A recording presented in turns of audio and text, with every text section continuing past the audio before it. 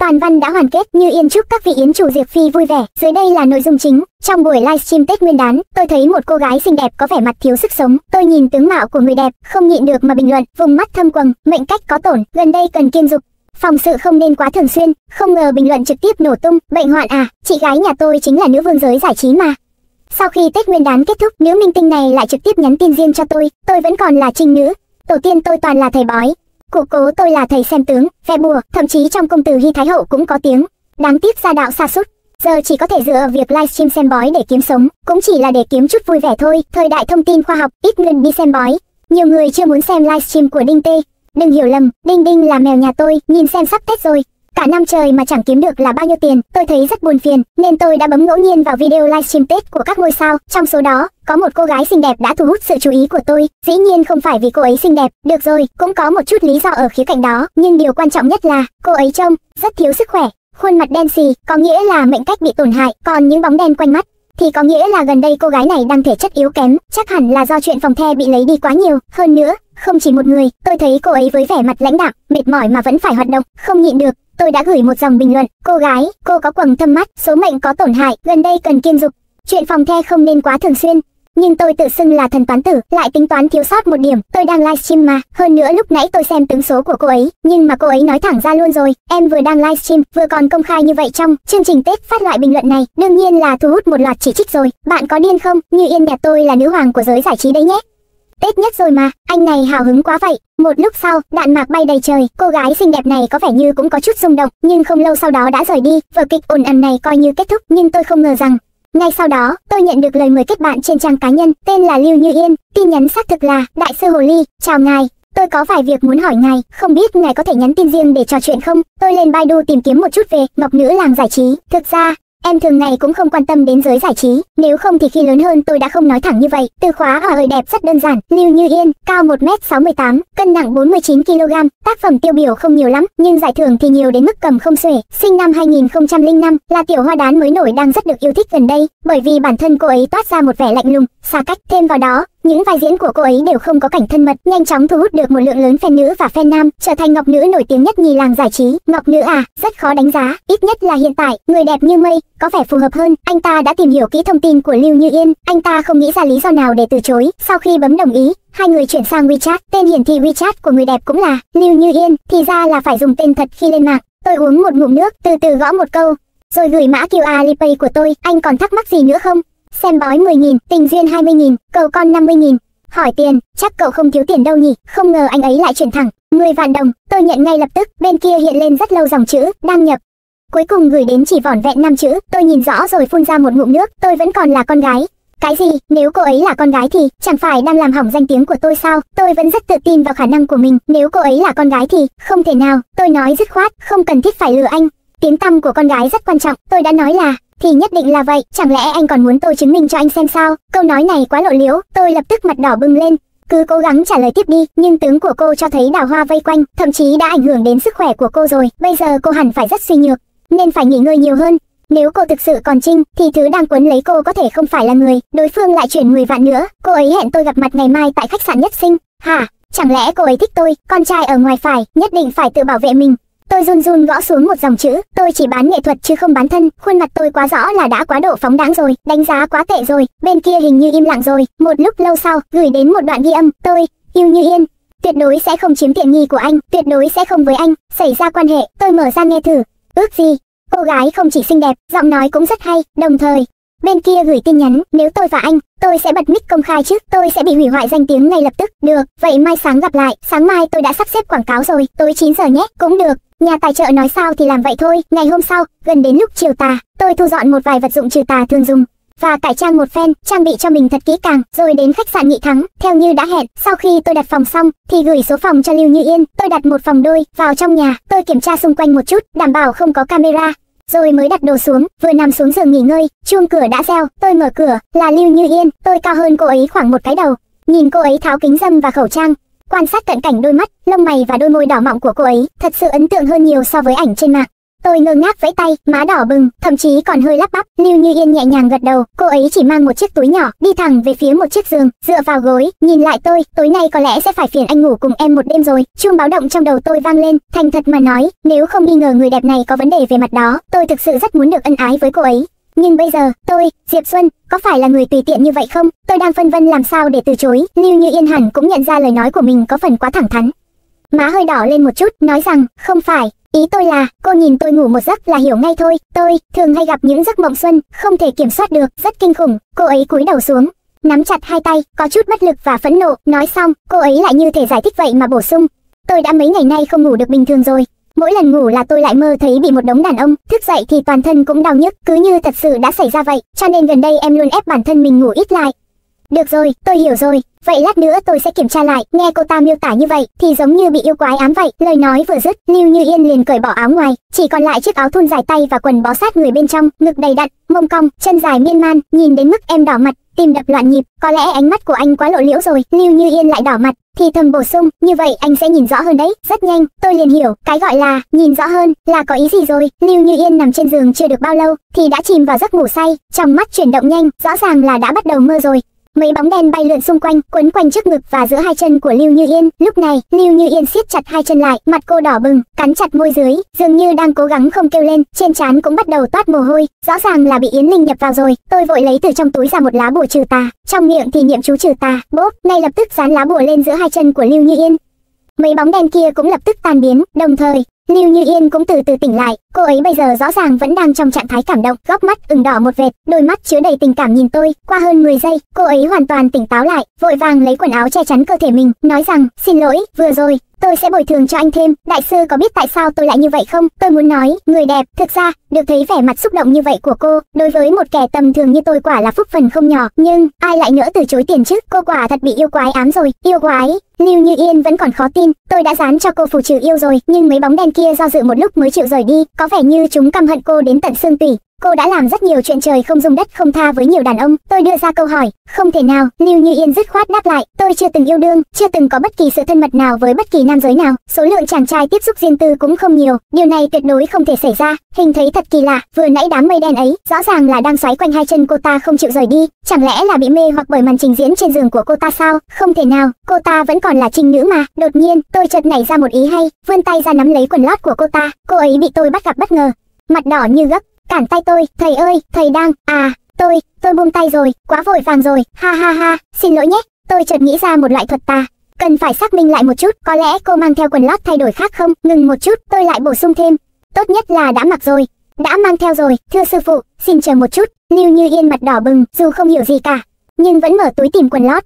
Cứ gọi tôi là Diệp Thuần là được rồi, được, Diệp Thuần, Lưu Như Yên lấy từ trong túi ra một chiếc quần lót tam giác màu hồng đào, khuôn mặt đỏ bừng, cô đưa cho tôi, chiếc quần lót này tôi đã mặc một lần rồi, nhưng tôi đã giặt sạch rồi. Tôi nhận lấy chiếc quần lót, đưa lên mũi người người, ngoan mùi nước giặt, còn có một mùi thơm nhẹ nhàng quyến rũ, còn trầm hương, còn gọi là hương chết người, là loại hương hạ lưu chuyên dùng để gọi hồn. Ngay sau đó, tôi lại cẩn thận xem xét quần lót, cuối cùng cũng tìm thấy trong lớp lót gen của quần lót một sợi lông dài khoảng 2 cm. Theo lý thuyết thì ở nơi này tìm thấy, hình như là lông mơ u, nhưng mà lông này hơi ngắn, hơn nữa còn khá thô cứng, tuy nhiên cũng không loại trừ khả năng bẩm sinh như vậy. Cái này có phải của cô không? Tôi khẽ đưa môi về phía chỗ của cô ấy, hay là anh đối chiếu lại xem sao? Không phải, tôi đang định quay người tránh đi, nào ngờ Lưu Như Yên trực tiếp chối bay chối biến, sao cơ? Tôi nhướng mày, Lưu Như Yên cầm lấy sợi lông đó, lại nhìn kỹ thêm hai lần, của tôi, chiều dài và màu sắc khác với cái này, hơn nữa, cảm giác cầm nắm cũng khác, cái này cứng lắm, tôi nghi ngờ cô đang lái xe à, nhưng tôi không có bằng chứng, tôi ấn chặt vào sống mày đang giật giật, nói rằng, hình như cô đã đắc tội với ai đó rồi. Đây là một loại phương pháp rất tà ác, dùng hương làm mồi nhử, lại dựa vào mau mau dẫn đường, linh hồn không mắt thì bị dẫn dụ đến người cô, kết hợp với cô, mượn cơ hội này báo thù.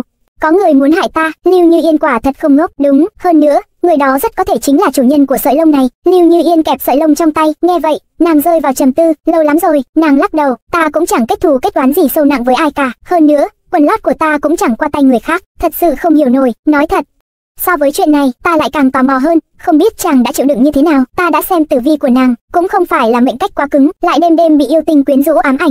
Cơ thể cô còn nguyên vẹn đã là một điều kỳ diệu rồi. Tử vi của tôi, thông tin trên mạng là giả.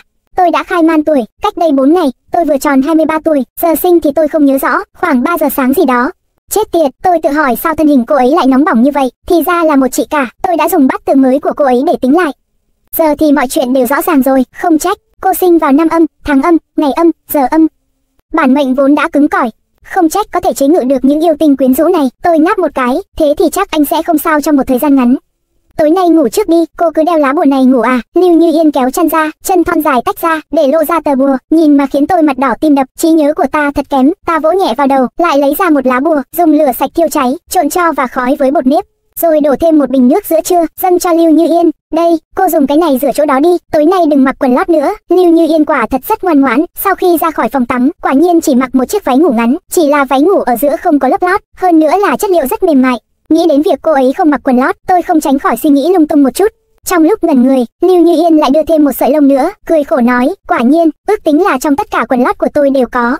Không sao, từ từ tìm đi, người ở phía sau nếu đã có cơ hội đặt thứ này vào quần lót của cô, thì chắc hẳn là người khá thân thiết với cô, tôi nói bừa thôi mà. Lưu Như Yên lại chìm vào suy nghĩ. Cô ngủ sớm đi, tôi lên tiếng cắt ngang, Lưu Như Yên nghe thấy liền ngoan ngoãn chui vào trong chăn, nhưng ánh mắt lại mang theo vẻ hy vọng, đáng thương nhìn tôi, tôi chống đỡ không nổi, được được được, tôi sẽ ở bên cạnh canh chừng một lát đã. Lưu Như Yên cười, dựa vào, đừng quyến rũ như vậy có được không? Không lâu sau, nàng liền ngủ thiếp đi, mày cau lại, xem ra ngủ cũng không ngon lắm, Thôi thôi, ăn lộc của người ta, phải trung thành với người ta, ta cứ chờ nàng ngủ say rồi, mới ngủ gà ngủ gật một chút, kết quả ngày hôm sau, tôi phát hiện ra mình lại ngủ thiếp đi trên giường của cô ấy, không chỉ ngủ thiếp đi, mà còn chui thẳng vào trong chăn của người ta nữa, nửa đêm không làm gì không nên làm chứ nhỉ, may mà cô ấy không có ở đây, chắc là đã đi nhà vệ sinh rửa mặt rồi, không thì tỉnh dậy hai người nhìn nhau chăm chăm. Tôi thực sự sẽ xấu hổ lắm, sau khi ngượng ngùng một chút, tôi liền bắt đầu lướt điện thoại như thường lệ. Hôm qua bận cả ngày, đều không có thời gian chơi, kết quả vừa mở điện thoại lên, tôi ngây người ra, cả đời chưa từng nghĩ mình lại có thể lên top tìm kiếm, lại còn theo cách này nữa chứ. Các trang web nền tảng lớn đều tràn ngập, tin đồn lưu như yên, ngọc nữ, nghi vấn sống buông thả. Một thầy bói nào đó nói rằng, sức khỏe của cô ấy đã bị hao tổn, Tin tức, chỉ cần lướt qua một chút là có thể thấy tôi đang xem video lục Như Yên livestream Tết và xem bói. Hơn nữa hôm qua tôi và Lưu Như Yên cùng vào, hình ảnh khách sạn cũng bị người ta lén chụp lại, bị những kẻ có ý đồ xấu thêm thắt, tô vẽ. Lưu Như Yên càng bị gán ghép trực tiếp với tội danh, gọi là đi khách, một tội danh, trong chốc lát. Danh tiếng Lưu Như Yên tụt dốc không phanh, rất nhiều fan đã lập nhóm phản đối cô ấy. Trước đây, hình tượng hoa trên đỉnh núi cao, người phụ nữ thanh lãnh như ngọc của Lưu Như Yên được nhiều người yêu thích thì hậu quả của việc hình tượng này sụp đổ lúc này sẽ càng nghiêm trọng. Nhưng nói cho cùng, tất cả những điều này đều không thể tách rời khỏi tôi. Mặc dù tướng mạo của tôi không có vấn đề gì, nhưng Lưu Như Yên lại là người mang sát khí quyến rũ của nạn nhân và kẻ đòi hỏi dâm đãng vô độ ấy hoàn toàn không liên quan gì cả. Không biết Lưu Như Yên có thấy những tin tức này không nhỉ? Tôi run run gửi cho Lưu Như Yên một tin nhắn. Đã thấy tin tức chưa? Xoẹt một cái, cửa phòng tắm bị kéo ra, Lưu Như Yên rửa mặt xong đi ra, trông chị có vẻ khỏe hơn nhiều rồi, giọng nói chứa đựng ý cười. Gần nhau thế này mà còn phải nhắn tin nữa à? Tôi không dám ngẩng đầu nhìn cô ấy, hình như danh tiếng của cô bị tôi làm hỏng rồi. Lưu Như Yên đi đến bên cạnh tôi rồi ngồi xuống, khẽ cười thành tiếng, danh tiếng thì không tính là gì, nhưng mà thanh danh của tôi thực sự đã bị anh hủy hoại sạch sẽ rồi. Tôi cắn môi dưới, trong lòng rất khó chịu, một cô gái hơn 20 tuổi, chưa từng yêu đương, lại còn là nạn nhân đáng thương như vậy. Vậy mà lại vì lời bình luận của tôi, bị cả mạng ném đá, hay là, mình làm một video đính chính nhé, đính chính thế nào, mình cứ nói là mình nhìn nhầm thôi, lúc đó quá buồn ngủ, không nhìn rõ gì cả. Đầu tiên, anh giải thích cũng chưa chắc đã có hiệu quả, đám đông chỉ muốn nhìn thấy những gì họ muốn nhìn thấy thôi. Thứ hai, anh nói như vậy thì, chẳng phải là tự hủy hoại thương hiệu của mình sao, thật ra, Tôi lại rất biết ơn, vì tối hôm đó anh đã chỉ ra trực tiếp vấn đề của tôi, giọng điệu của Lưu Như Yên rất thoải mái, như thể cô ấy thực sự không hề để tâm vậy, nhưng sự nghiệp giải trí của anh về cơ bản là chấm dứt rồi, ông chủ chống lưng cho anh sẽ không tức giận sao? Tôi cẩn thận mở lời, làm sao cô biết chính ba tôi là người đẩy tôi vào giới giải trí, cô có thể tính toán được cả chuyện này. Lưu Như Yên nhìn tôi với vẻ nghi ngờ, nói nhảm, chưa có hậu thuẫn thì làm sao ngay từ khi ra mắt đã đóng vai nữ chính được, diễn xuất bình thường, chỉ dựa vào gương mặt. Hai tác phẩm mà có thể giành được nhiều giải thưởng như vậy, chẳng phải là nhờ nhà đầu tư, hay là có đại gia chống lưng. Tôi đùa thôi, Lưu Như Yên nghe vậy cũng cười, tôi vốn dĩ cũng không muốn vào giới giải trí đâu.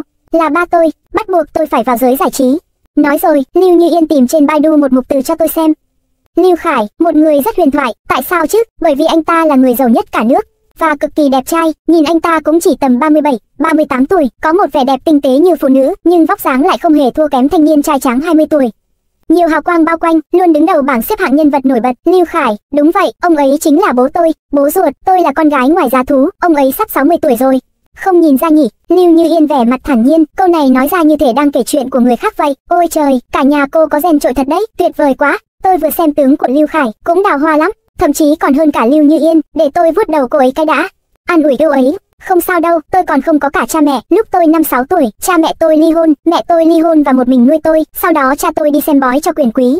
Gây ra chuyện, qua công trường thì bị vật rơi trúng đầu mà chết. Mẹ tôi không thể nào quên được cha tôi. Lúc làm việc mà cứ nghĩ linh tinh, rồi bị cuốn vào máy mà chết luôn. Nghe tôi nói vậy, Lưu Như Yên giơ tay vỗ vai tôi. Không sao, sẽ vui trở lại mà. Cùng lúc đó, điện thoại của tôi hiện lên một tin nhắn, Ali Billing nhận được 100.000 tệ. Tôi cười ha ha, thậm chí còn cười thành tiếng nữa chứ. Thực sự xin lỗi nhé. Lưu Như Yên nhìn thấy vẻ mặt tôi cố gắng kìm nén nụ cười thất bại, cũng không nhịn được cười nữa.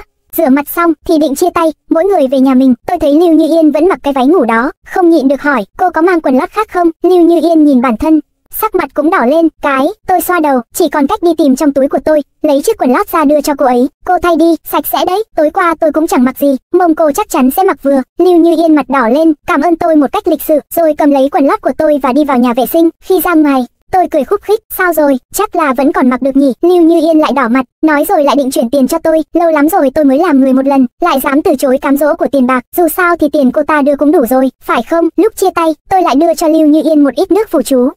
Nhưng thứ này chỉ trị được triệu chứng chứ không trị được tận gốc. Tôi dặn dò cô ấy về nhà vẫn phải nghĩ cách tìm ra chủ nhân của sợi lông đó. Cô ấy gật đầu đồng ý. Mấy ngày sau đó, tôi thỉnh thoảng vẫn nói chuyện với Lưu Như Yên, nhận được 300.000 tệ từ cô ấy.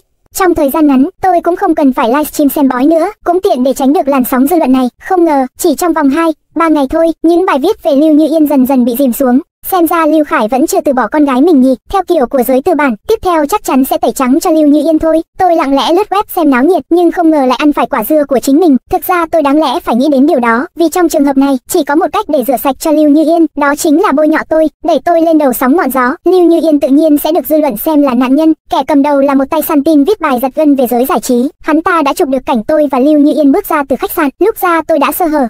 Cô ấy không đội mũ, còn tôi thì có một nốt ruồi son, rất đặc trưng ở phần xương mày bên phải. Dưới bài báo có nhiều người có tầm ảnh hưởng lớn phỏng đoán, nói là phỏng đoán, thực chất là khẳng định rồi. Cô ấy nói, có phải là Hồ ly đại sư là cố ý đẩy Lưu Như Yên vào cảnh khốn cùng, rồi lợi dụng điều đó để tống tiền Lưu Như Yên bán thân. Giả thuyết này đầy rẫy lỗ hổng, hoàn toàn không có lý lẽ hợp lý, nhưng lại được bão lai điên cuồng. Thậm chí còn kéo theo một loạt các tài khoản truyền thông khác. Trong chốc lát, các phương tiện truyền thông lớn và các tài khoản công cộng lại bắt đầu đào bới những thông tin tiêu cực về tôi. Có người còn kèm theo ảnh chụp màn hình trong buổi livestream của tôi. Đạn mạc toàn là, hãy xem tê, rồi nói tôi chỉ khoác lác là thầy bói. Thực chất chỉ là một streamer khiêu dâm bán thân, thậm chí còn có người trực tiếp lôi cả tổ tiên tám đời của tôi ra nữa, đào lại tin tức tôi tham gia vụ tai nạn chết người năm đó. Nói cả nhà tôi gặp phải bọn lừa đảo, đều sẽ chết không toàn thây. Đây là quả báo, fan cuồng của Lưu Như Yên lúc này lại lần lượt xuất hiện, thậm chí còn có xu hướng lớn mạnh, chĩa mũi nhọn trực tiếp vào tôi, khui thông tin và địa chỉ của tôi, tìm ra những bức ảnh tôi từ nhỏ đến lớn đi học. Để tấn công cá nhân tôi, nói tôi cha mẹ chết, không ai cần, Đồ rác rưởi kinh tởm, con cóc già đòi ăn thịt thiên nga, lúc này, tôi mới thực sự cảm nhận được cảm giác bất lực nghẹt thở khi bị bạo lực mạc. Tôi nằm vật ra giường trong trạng thái suy sụp. Sáng nay tôi cũng không ăn sáng, cũng không dám gọi đồ ăn ngoài, tê lần đầu tiên thấy em như vậy, sống không còn gì luyến tiếc. Hiếm khi ngoan ngoãn như vậy, nằm trong lòng tôi, dụi đầu vào lòng bàn tay tôi, đột nhiên chuông điện thoại reo lên, reo rất lâu, tôi sực tỉnh rồi nghe máy.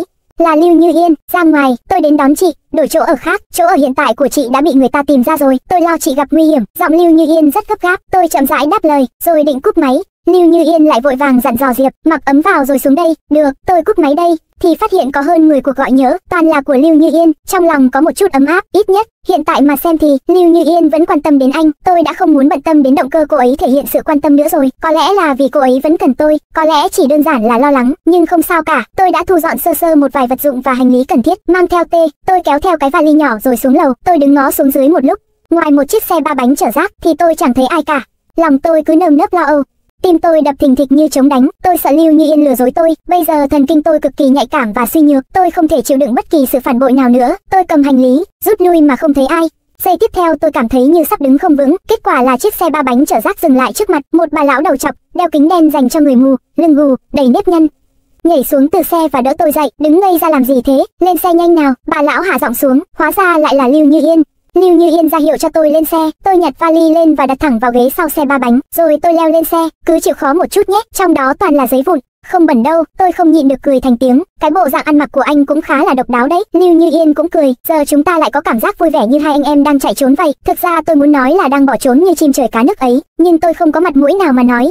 Hi hi, anh có bạn gái không? Lâu Như Yên đột nhiên thốt ra một câu chẳng đầu chẳng cuối, giống anh thôi, chưa yêu đương gì cả. May mà tôi không có bạn gái, không thì bây giờ chắc chắn sẽ bị lột sạch không còn mảnh vải che thân. Không sao, dù sao đây cũng là lần đầu tiên chúng ta gặp nhau, tôi đã chẳng còn gì rồi. Lục Như Yên đã nói đùa một câu, tôi lại không nhịn được cười, cảm giác như những u ám mấy ngày nay tan biến hết sạch. Diệp Xuyên, Lục Như Yên đột nhiên nghiêm mặt nói, để em đăng một bài tuyên bố nhé. Em làm bạn gái anh, sao thế? Anh định đưa ra tuyên bố gì vậy? Tôi cố tình bỏ qua nửa câu sau, cố gắng để giọng mình nghe bình tĩnh hơn một chút. Về nhà rồi nói sau. Lưu Như Yên chở tôi đến một tòa nhà chung cư ở ngoại ô, Ngôi nhà nhỏ hơn tôi tưởng tượng rất nhiều, tôi nghĩ rằng một ngôi sao lớn như Lưu Như Yên vẫn là con gái của người giàu nhất, nơi ở ít nhất cũng phải là biệt thự lớn chứ. Thấy tôi nhìn quanh ngó lại, Lục Như Yên giải thích, đây là nơi xưa kia con và mẹ ở cùng nhau. Còn mẹ cô thì sao? Tôi thốt lên, Lục Như Yên cúi mắt, lần đầu tiên cô ấy lộ ra vẻ khó xử.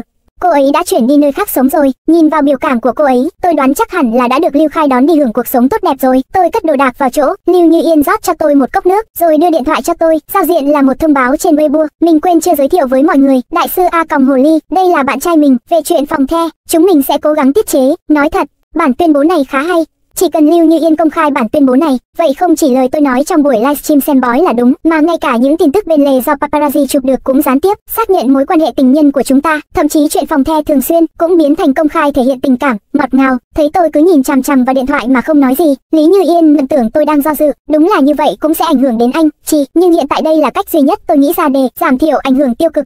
Nếu mà thì không cần, nếu làm gì cả, làm ơn, cô là con gái đấy, lại còn là ngôi sao lớn nữa chứ, được ràng buộc với anh, là em được may mắn thôi, được không? Tôi cắt ngang lời Lục Như Yên. Lục Như Yên nhìn tôi chăm chú, mím môi cười, trong chớp mắt, tôi hơi mất hồn, đột nhiên, cô ấy đưa tay ra nắm lấy tay tôi, tay cô ấy rất nhỏ, trắng trẻo và mềm mại, nằm trong lòng bàn tay tôi, nhỏ xíu một bàn tay, đụng vào đầu ngón tay cô ấy. Tim tôi cũng đập thình thịch mạnh. Cạch, một tiếng, Lưu Như Yên chụp một tấm ảnh, giờ thì được rồi, phải nói rằng, tuyên bố này khá hiệu quả, Tất cả những phỏng đoán của truyền thông trước đây đã bị tuyên bố dứt khoát, của Lưu Như Yên nghiền nát không còn mảnh nào. Nói về nhược điểm thì Lưu Như Yên đã mất một lượng fan nam, nhưng vẫn còn một lượng fan cứng không thể lay chuyển. Thậm chí Lâu Như Yên còn vì sự mạnh mẽ, thể hiện tình cảm mà thu hút được một lượng fan nam mới. Đợi khi tâm trạng tôi dần ổn định, Lâu Như Yên lại nói với tôi một tin tức mới. Tôi đáng lẽ ra nên biết đó là lông của ai rồi, tôi suýt nữa thì quên mất chuyện này rồi, tôi đoán là của Lâu Khai. Tôi kiểm tra 7 FDN, hiển thị có quan hệ huyết thống với tôi, trên mặt tôi toàn dấu hỏi chấm, cha của anh, Lưu Như Yên cười khổ gật đầu, nhưng những yêu linh này đều là nam quỷ cả, chẳng lẽ anh giấu? Lưu Như Yên cắn nhẹ môi dưới, nói rằng, không, mẹ tôi bị ông ta ép buộc, sau đó ông ta không còn đụng đến phụ nữ nhiều nữa, nhưng bắt đầu tìm đến đàn ông, và không bao giờ lặp lại, tôi hầu như không thấy người đàn ông nào có thể ở bên cạnh anh ta quá ba ngày, mà anh ta lại có sở thích biến thái với những chàng trai còn trinh gần như không từ chối bất cứ ai, còn Trinh không bao giờ lặp lại, không từ chối bất cứ ai. Một vài từ khóa này kết hợp với gương mặt của Lưu Khải không hề để lại dấu vết thời gian và gương mặt tinh xảo, thu hút cả nam lẫn nữ. Một câu trả lời dường như sắp hiện ra, nhưng tôi cần phải gặp ông ta mới chắc chắn được. Cô có cách nào giúp tôi gặp ông ta không? Được, không ngờ lại dễ dàng gặp được người giàu nhất cả nước như vậy. Ha ha. Tôi đã khéo léo một chút. Lưu Như Yên cười dựa vào vai tôi, dù sao bây giờ anh cũng là bạn trai chính thức của em mà. Rồi cô ấy lại nghiêm mặt, nhưng anh phải chú ý an toàn cho bản thân nhé. Đừng để cậu ta lừa gạt anh, cậu ta có vài người bạn trai, thậm chí còn nhỏ tuổi hơn cả em nữa. Yên tâm đi, em đây là thẳng như ruột ngựa mà. Bữa tối gặp mặt với Lưu Khai được đặt tại phòng riêng của nhà hàng sang trọng nhất thủ đô, môi trường riêng tư, ánh đèn ảm đạm dưới sự trợ giúp của ánh sáng và hương thơm. Có một bầu không khí rất say đắm. Trước đó, tôi đã ngậm sẵn viên thuốc trừ tà tỉnh thần ra truyền dưới lưới, cũng cho Lưu Như Yên ngậm một viên. Dù vậy, khi nhìn rõ khuôn mặt người đối diện dưới ánh đèn, tôi vẫn không khỏi sao xuyến. Lý Khải dáng vẻ sang trọng, tao nhã, giống như một chàng trai bước ra từ bức tranh sơn dầu thời trung cổ vậy. Dưới hàng mi dài và dày là đôi mắt đen sâu thẳm, lúc nào cũng mang vẻ cười ý nhị. Làn da trắng mịn, một vẻ đẹp bệnh hoạn, tái nhợt, trong nụ cười của Trương Nhất, khuôn mặt đẹp trai, khó phân biệt giới tính, đẹp đến mức làm người ta say đắm, cổ áo vest mở nhẹ, lộ ra lấp ló cơ ngực, cũng tỏa ra sức quyến rũ chết người. Lý Khai khẽ hít hà, như yên, anh bạn trai nhỏ của em này thơm quá nhỉ. Khi anh ấy nói chuyện, trong không khí thoang thoảng một mùi hương ngọt ngào đầy quyến rũ. Em cười khẽ đáp lại, chú ơi, em không còn nhỏ nữa rồi, đã qua tuổi kết hôn hợp pháp rồi đấy ạ. À. Tôi cố ý nhấn mạnh tuổi tác, nhưng Lưu Khai dường như không quan tâm, chỉ cười ha ha. Tôi muốn nói, so với tôi, anh quả thực nhỏ tuổi hơn. Lưu Như Yên hơi tức giận, vòng tay lên cánh tay tôi, đồng thời ông ấy còn véo nhẹ lòng bàn tay của con. Ba đừng trêu chọc bạn trai của con nữa, ăn thêm chút nữa đi. Con vừa ăn cơm, vừa cố ý tránh xa những thứ mà Lưu Khải đã chạm vào. Thành thật mà nói, con không nhìn rõ số mệnh của anh ấy. Sắc mặt của anh ấy thực sự không giống người bình thường, giống như đang khoác lên mình một lớp da sát chết vậy. Nhưng nếu nói trên người anh ta gánh vác màng người, hình như lại không hẳn vậy.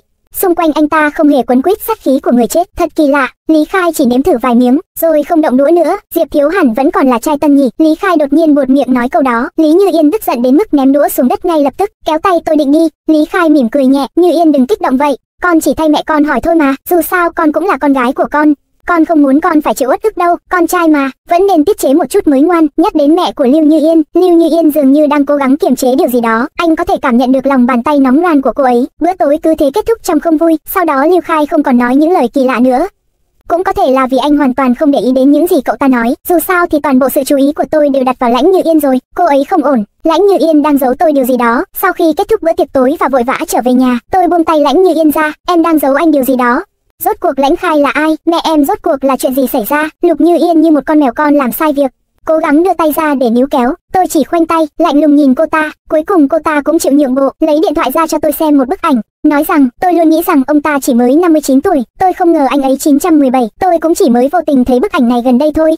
Lúc đó anh ấy còn tên là Lưu Minh Sẹp, Lưu Minh Sẹp, hình như tôi đã gặp cái tên này ở đâu đó rồi. Tôi đã cầm điện thoại của cô ấy, người trong ảnh khoảng năm mươi mấy tuổi, giữa hai hàng lông mày và mắt rất giống Lưu Khải, nhưng sức hấp dẫn của ông ta thì không bằng Lục Khải, nhìn ông ta cứ như cha của Lục Khải vậy. Lục Như Yên tiếp tục nói, mẹ tôi bị ông ta giam lòng.